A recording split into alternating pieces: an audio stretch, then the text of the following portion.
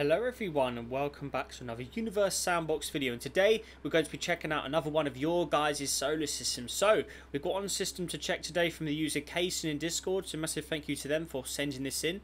But without further ado let's get straight into this. So it's on the workshop, it should really be here, there it is. So let's see what he has prepared for us here. So it's called the Vianqui system. So let's see what we have here. Right. Okay, ooh.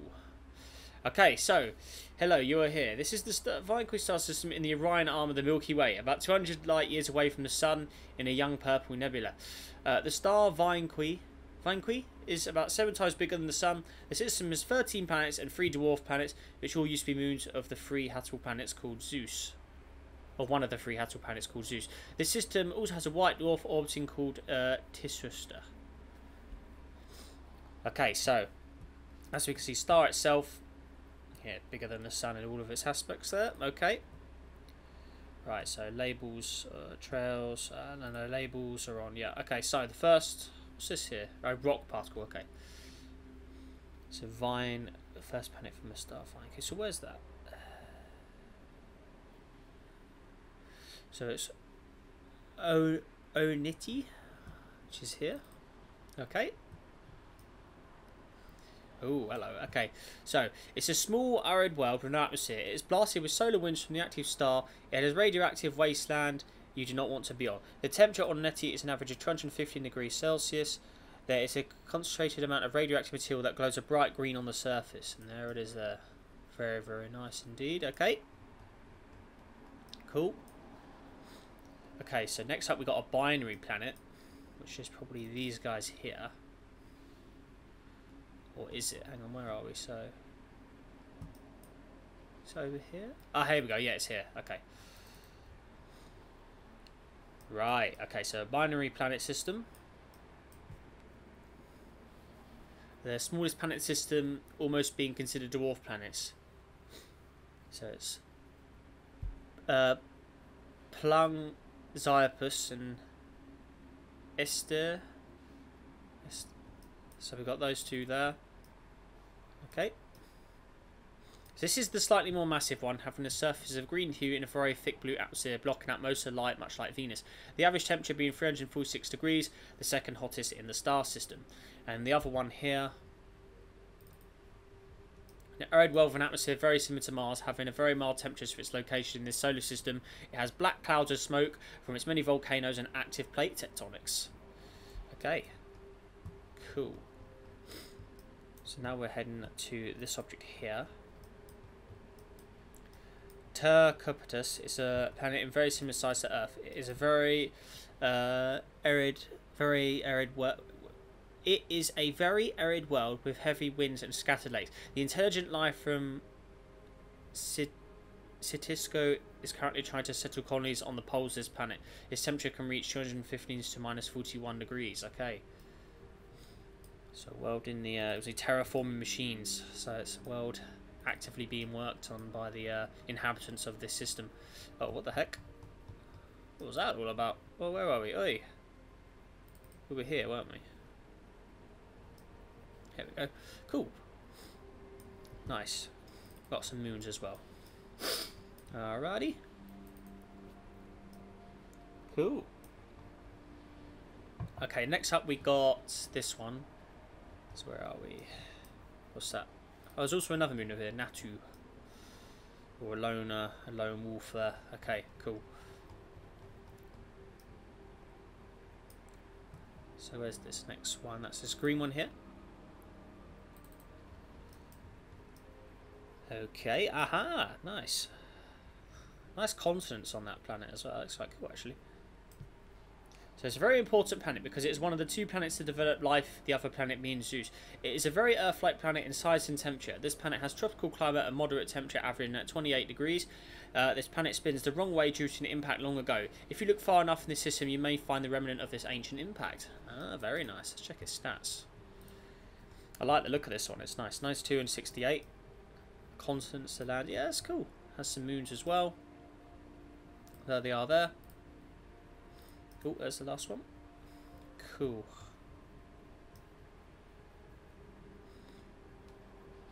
Right, nice. So next up we've got Zeus here, so the other Earthlight world. So it's often referred to as the twin. Okay. Being the other planet to develop native life. It also has a slightly cooler temperature, averaging at 25. Nice. Stats are looking pretty good as well. Very, very cool. Okay, so we've also got some moons. Awesome stuff. There they all are there. Okay, cool. And next up we got Neperon.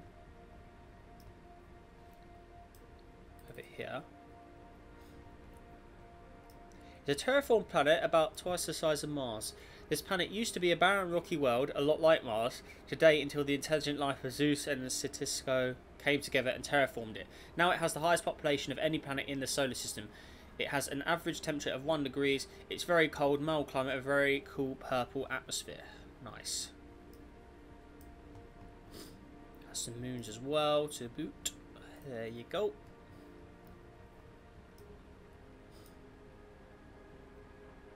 Cool. Uh, oh, I see. That was that one. Yeah. Okay. Cool. So, right, so next up we got Aerocorn. So where are we? That's this one here. An average sized gas giant with very high wind speeds. It has a very cool coloured band across it. Its average temperature is minus 40. Nice mixture of bands there. Nice purple and like neon blues going on there. Excellent. Has one moon. Sis 2. There it is there. Cool. Now we're moving over here. Sautia, a massive rocky planet that was in the process of being terraformed. It was once thought to be a gaseous planet until the telescopes became advanced enough to see that it is not. Okay, alright, there you go. Cool, got some terraforming machines around it as well. Next up, we got Eubene, a large gas giant close to being a brown dwarf.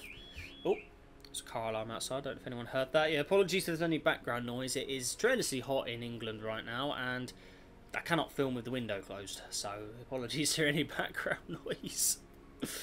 but it is hot.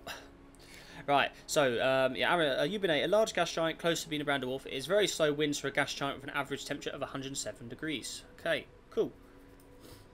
Got some moons as well. Very nice. Looking good.